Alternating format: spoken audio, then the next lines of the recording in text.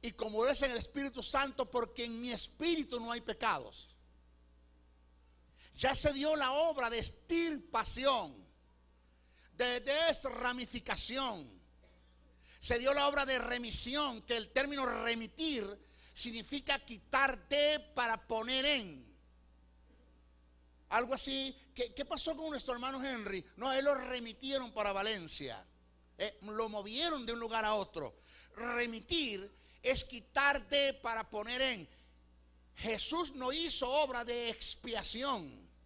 Expiar es, es tapar, es cubrir el pecado, pero no es el acto de estirparlo, desramificarlo, sacarlo, quitarlo. Expiar es el acto de levantar la alfombra y echar la basura debajo de ella.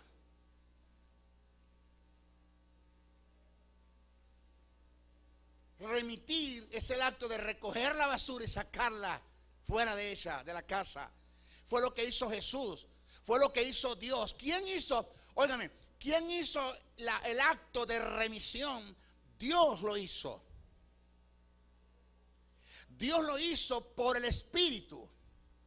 Porque si fue el Espíritu Santo el agente, wow, si fue el Espíritu Santo el agente que Dios usó para justificar a Jesús dentro del infierno, del infierno, para darle la vida, para levantarlo entre los muertos, para que venza la muerte, fue el Espíritu Santo el que se encargó de quitar de Jesús la justicia y ponerle en ti, y fue el Espíritu Santo el que se encargó de quitar de ti el pecado y ponerlo en Jesús.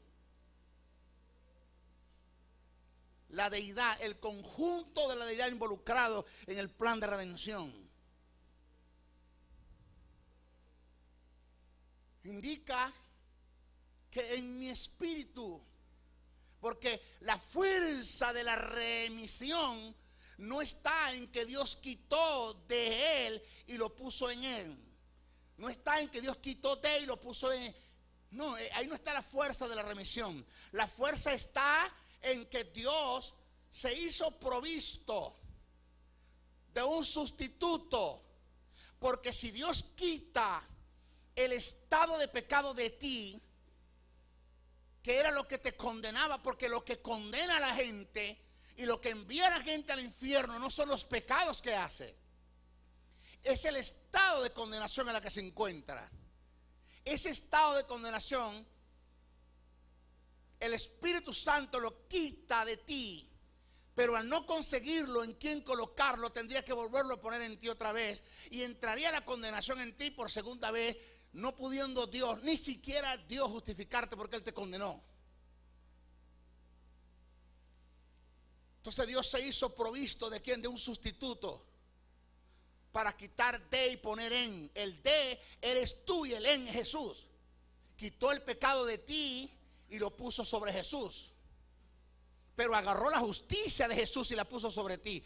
De modo, oído lo que voy a decir, páreme, que yo soy tan justo como lo es Dios, yo soy tan justo como lo es Cristo. Yo soy tan justo como es el Espíritu Santo. E independientemente en el estado de pecado en el que yo me encuentre en cuanto a obras se refiere.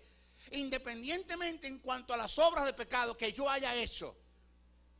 Cuando digo que yo puedo estar, no es que estoy dando licencia para eso, es una forma de expresar, para entender, para enseñar. Yo puedo estar en el pecado más degradante, más sucio, de este universo, yo sigo siendo justo como lo es Dios. ¿Aló?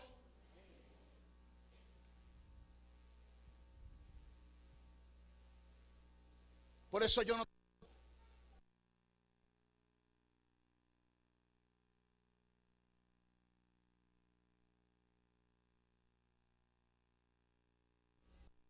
Error, entonces todo el mundo lo patea, todo el mundo lo golpea, todo el mundo lo hiere, todo el mundo lo, ¿Por, qué, ¿Por qué se hace eso? Bien dijo un conocido predicador que el único ejército que se encarga de golpear y de patear a sus soldados heridos se llama la iglesia del Señor. Eso da, tristeza decirlo. Pablo dijo, vosotros que sois espirituales, restauraros tales con espíritu de mansedumbre. Y, y de los tales se está hablando de quién? Está hablando de los fornicarios. Está hablando de los que están en la iglesia y no están haciendo de la fornicación un estilo de vida, sino por A por B cayeron en eso. Pablo dijo restaurarlos. Pablo dijo, vosotros que sois espirituales, a los tales restauraros con espíritu de mansedumbre. Óigame, no seáis que mañana caigáis en la misma condenación y después estás pegando a gritos de misericordia. Porque lo que tú siempre lo vas a recibir.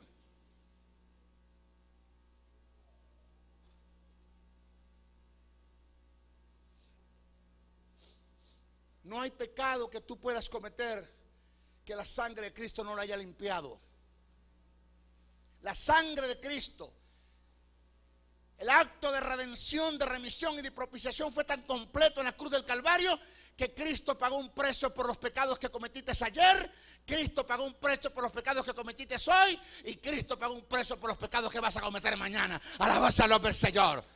Ese es el acto de redención. Esa es la fuerza y el poder de la cruz del Calvario.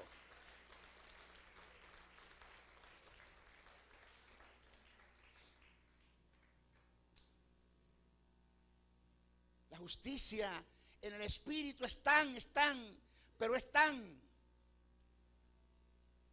que te garantiza la fuerza del perdón.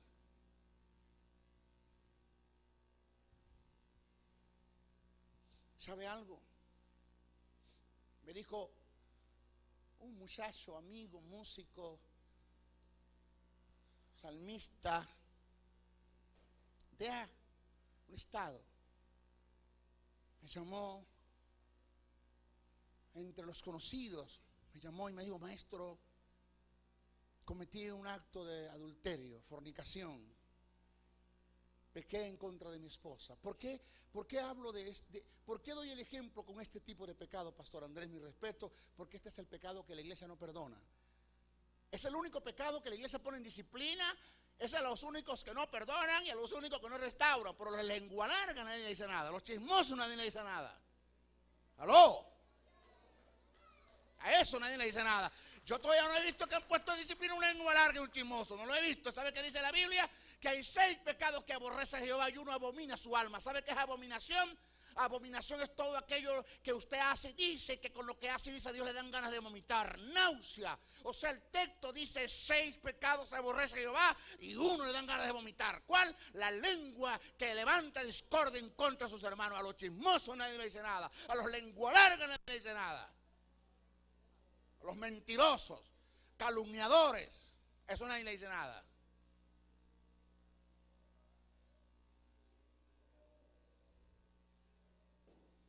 Y cayó, cayó. Vino a mí. Me confesó. Me digo, maestro, yo, yo, yo, maestro, yo tengo la culpa yo, aquí no voy a, culpar a, nadie. Yo tengo la, culpa, yo la tengo. Yo, maestro, yo, yo, venía pensando en, pornografía porque nadie cae de pronto. Eso es que, ¿qué te pasó? Caí en adulterio. ¿Cómo fue eso? De pronto, de pronto no. Nadie cae de pronto. A mí no me venga usted decir que usted cayó de pronto. Usted venía creando un estado de mente, venía viendo revistas pornográficas, películas pornográficas, venía con el acto de la masturbación. Y usted venía desarrollando una mente hasta que eso es un estado de mente. Y cuando el diablo logró crear un estado de mente, le presenta la oportunidad. Y como no tienes una mente espiritual, cae fácil. Te deslizas.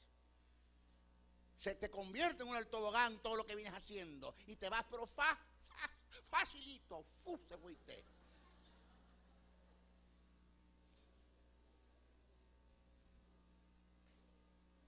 Y ahí la importancia de no ver, de no oír, de no alimentar la mente con esas basuras. ¿Qué te pasó? ¿Cómo fue? Yo premedité, yo preparé, yo planeé, yo hice todo. Maestro, yo lo que quiero es que, es que me ayude. deme una palabra me siento condenado. Tengo dos meses, no duermo pensando en esto.